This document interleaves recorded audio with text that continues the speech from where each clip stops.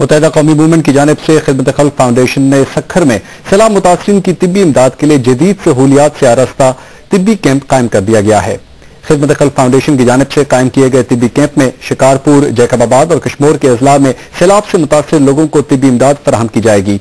M Q M रबता committee के रुकन इशफाक मंगी ने दीगर अरकान के साथ प्रेस कॉन्फ्रेंस में बताया कि खिदमत खल फाउंडेशन अब तक सैलाब जदगान में दस करोड़ से जायद मालियत का इमदादी सामान तकसीम कर चुकी है। रबता कमेटी के मेम्बरान ने तिबी कैंप के मुख्तलिफ़ शोबों का मुआयना भी किया।